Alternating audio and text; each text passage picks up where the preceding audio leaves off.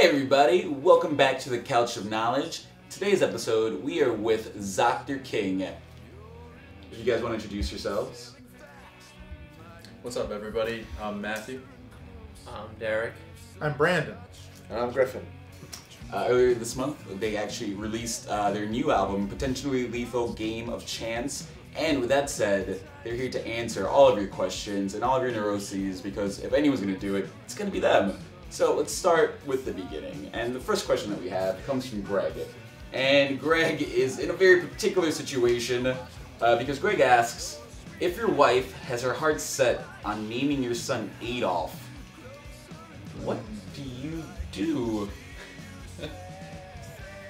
Question whether she should really be your wife. That's probably the first thing I would do. Place to start.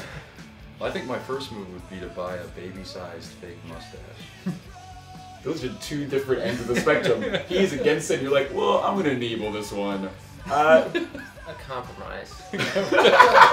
Dolph. No. Let's, let's get rid of the A. you know? Dolph is Yeah. Dolph, yeah. Dolph's Dolph's solid. alright. Maybe, Dolph's maybe, also maybe you could do, use the PH. Yeah. Rid of the oh, F.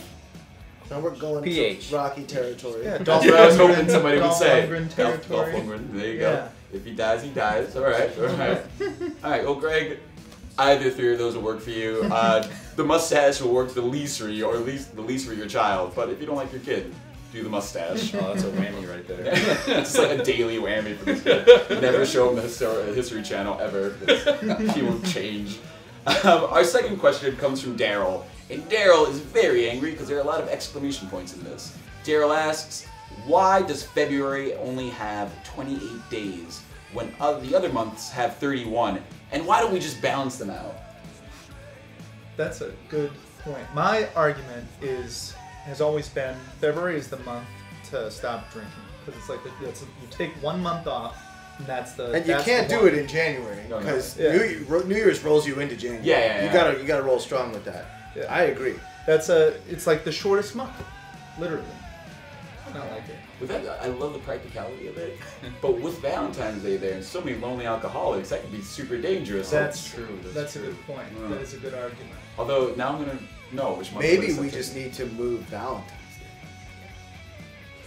Where would you move it to? Well, you can't take March 14th. No, it's already that's been set aside for another day. What day's March 14th? Wait, It's steak and blowjob day. that's steak and blowjob day? Yeah. We're in great territory now. Okay, this is a new. That's, a, that's an international holiday. It's international. Where have I been? it's a month. It's always the month. Well, it's it's because it's a month. Because after it's a month Valentine's after Day. Valentine's Yeah. So you get her chocolates on Mar- on February 14th, and you get the steak on March 15th. so what if you do Valentine's Day March 13th, steak and blowjob day March 14th? So no matter what you did, you're awesome Yeah, the next that's day. right. All That's you know what? I like this. I think we can work together. I think we can change this, you guys. All right, Daryl. I hope that answers your question and it gives you a new insight of what to do with your month. Uh, Our next question comes from Caitlin, and uh, Caitlin asks, "When someone you think is stupid starts agreeing with your every word and argument in public, do you reconsider your arguments?" I start making stuff up to see if they keep nodding, just to see, you know. Okay, you know. so you just cruelly attack them with your mind. Yeah, yeah. Or my imagination, like, you know, or a water balloon, you know, whatever comes first. You went from must Adolf mustache to mental abuse to water ballooning people. Yeah, I'm really a nice guy. No, I, I can tell. I figured about all this. Any other takers? Any other takers? Eh, I'd say it just means you're very. I mean, you're very persuasive. So I'd say you know if you if you the dumb people and the smart people, you know, the more you can convince, the better. So I'd stand by my my scruples. This comes from our most charming band member. Well, Well, of course. He's talking about steak and blowjob. Man. hey man, and I, you know, I know I've never told a lie except for right now. That's, that's the best example for equality ever. Dumb people, smart people, who cares? They love you anyways. That's right. Oh, there you go. There you go. All right. Well, Caitlin, don't be too worried. The man who introduced steak and blowjobs today to our lives is giving you his answer, and if not, you can just mentally terrorize everybody. Uh, our next question comes from Andy, and Andy asks, if you go to a band show and they really suck, but then they ask you, hey, what did you think? what do you say to their face? You gotta be brutally honest. You gotta, you gotta, just do it. That's it. You're not gonna pull your pull any punches. Frame it Nah, diplomatically. fr- diplomatic, schmatic. you gotta, you just, you gotta lay it out there. Otherwise, you're lying to them and yourself, all at the same time. Brutally honest. but thank you. I think you're gonna get asked a lot of questions after shows from now on, Payne. All right. Well, our next question comes from Karen, and Karen demands to know if you could have a tickle fight with any historical dictator, who would it be? Mussolini, That was so no quick. question. All right. Any any reasoning behind that? Oh, we know that there would be good coffee afterward. No. Benito Mussolini. And trains always ran on time. That's Because right. he was being tickled. Was it any? Sorry, was any historical leader? And who- Dictator. Dictator. Dictator. Cleopatra count? That'd be towards the top of my list. Did she dictate? She probably dictated here and Once- there. once or twice, yeah. Yeah, she dictated a few times. Yeah. There was some dictation. yeah. Our next question comes from Christian, who asks, "What is the most polite way to tell someone to go away forever?" I, I'm looking at you. Yeah. because- Uh, you're looking at me. Okay, what am I gonna say? I don't know. Brutally honest. Yeah, just brutally honest. Uh, please go away forever, please. Thank you.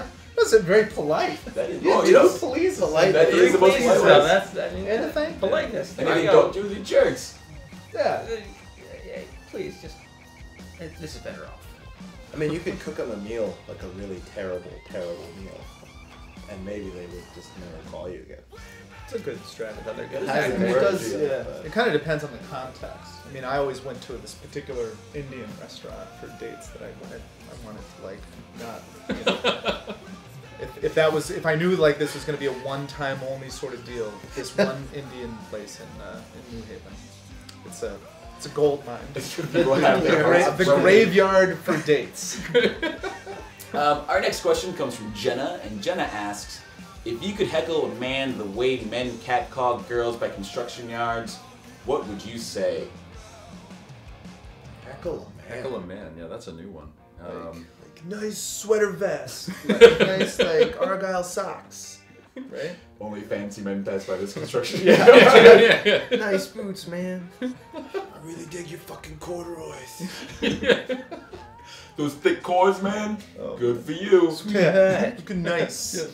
Jenna, you have more than enough answers now. There's no reason you should be alone on a Friday night. Uh, okay, well, our next question comes from Travis, and Travis asks You're stranded on a deserted island for two weeks without food. Which bandmate do you eat first? I think we all would probably taste pretty gross. yeah. I'd yeah. probably, I, I don't know. It I tastes love like you guys, Gatorade and but I, Sour I might Patch choose, Kids. choose to die. Sand.